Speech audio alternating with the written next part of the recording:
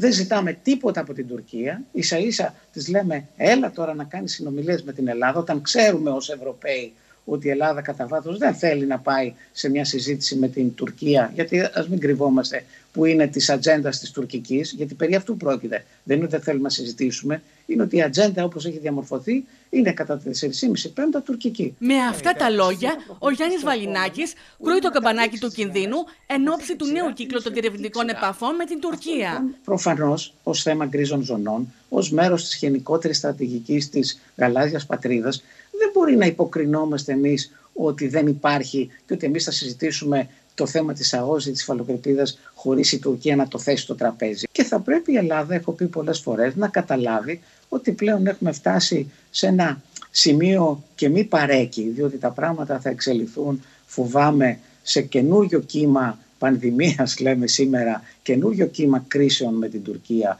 μόλις περάσουν ε, αυτοί οι μήνες που παρά την έντασή τους θεωρούνται μήνες νηνεμίας θα ξαναπάμε σε ένταση με την Τουρκία, διότι το πρόβλημα δεν έχει λυθεί, έχει απλώς κουκουλωθεί πίσω από το συμφέρον και το τονίζω αυτό της Τουρκίας να κάνει τον καλό. Να... Μιλώντας τον Γιώργο Σαχίνη, τόνισε την ανάγκη αλλαγής στρατηγικής από ελληνικής πλευράς, όπως και έξυπνων διαπραγματευτικών κινήσεων. Αλλά δεν μπορείς να λες ότι θα κάνεις οριοθέτηση χωρίς αυτό έστω, έστω να πετύχεις να το πετάξεις από το τραπέζι.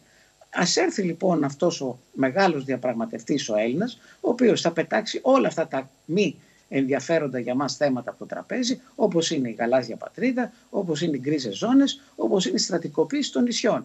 Ο πρώην Υφυπουργός Εξωτερικών περιέγραψε τα σημεία κλειδιά στο νέο γύρο των διερευνητικών επαφών, εκφράζοντας την ίδια ώρα τον έντονο προβληματισμό του και σε σχέση με τα θέματα που θα θέσει στο τραπέζι η Άγκυρα, η οποία συνεχίζει με αμύωτο ρυθμό τις προκλήσεις και τις απειλές. Εμείς τι θα πάρουμε, Ποιο είναι το πακέτο που θα πάρει η Ελλάδα; Η Ελλάδα έπρεπε να βγει και να πει θέλω εγώ ένα θετικό πακέτο, εγώ θέλω τη θετική ατζέντα, εγώ θέλω ένα πλαίσιο όρων διαδικασιών και εγγυήσεων από την Ευρωπαϊκή Ένωση. Η Ελλάδα δικαιούται σύμφωνα με την, το Διεθνές Δίκαιο της Θάλασσας και σύμφωνα με το λεγόμενο χάρτη της Σεβίλη και οποιονδήποτε χαράξει τις γραμμές αυτές με βάση το Διεθνές Δίκαιο, δικαιούται ε, μία ΑΟΣ της τάξης των 500.000 τετραγωνικών χιλιόμετρων, τέσσερις φορές τέσσερις φορές η, η έκταση της ε, υπηρετικής Ελλάδας. Τέσσερις φορές. Μιλάμε για μια Ελλάδα επί τέσσερα. Πρέπει να ε, προσπαθήσουμε διπλωματικά να λύσουμε το,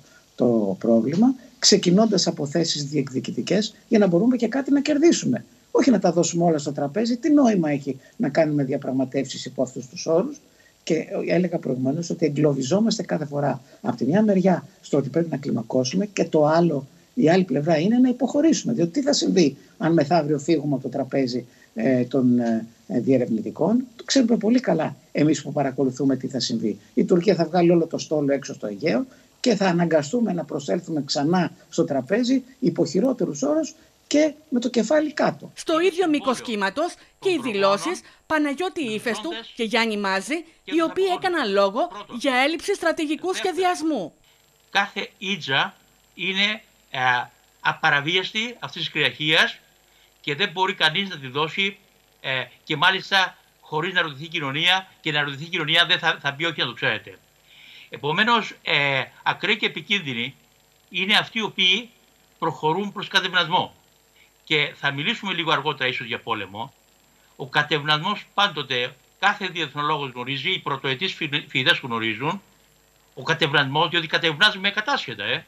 Ο κατευνασμός οδηγεί σε ήττα σε πρώτη φάση χωρίς πόλεμο και σε συνήθεια σε αιματηρό πόλεμο. Όταν οθήσε σε ιασδήποτε μορφής διάλογο υποκαθεστώς απειλής είναι σαν να έχεις χάσει έναν πόλεμο και υπό το καθεστώς της απειλής που προκύπτει από την ήττα σου σύρεσαι στον διάλογο για να δεις πόσα λιγότερα θα παραχωρήσεις.